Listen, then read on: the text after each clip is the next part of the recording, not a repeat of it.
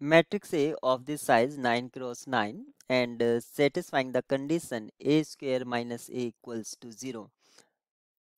So its annihilating polynomial will be x square minus x equals to 0 or this is annihilating equation. So we have x, x minus 1 are factors of this. So if we write minimal polynomial so what are the possibilities of minimal polynomial x and x minus 1? Because of these are in linear factor. As you can consider these are linear that's why matrix A is diagonalizable. Option D is correct. And A square minus A equals to 0. It means that A square equals to A means A is idempotent matrix. And uh, we know that uh, eigenvalues of idempotent matrix are 0 and sorry 0 and 1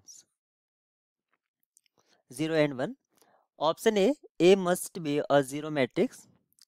It is necessary it is not necessary a must be a zero matrix if you consider 1 1 0 0 suppose this is a a then a square equals to a.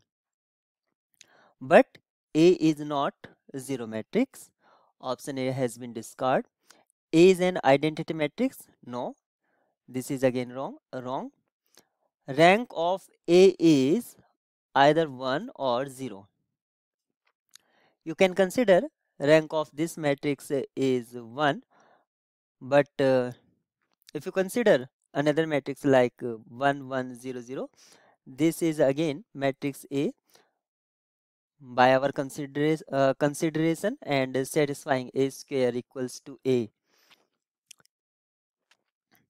And rank of this matrix is 1 so rank may be 1 or 0 we are not sure about it.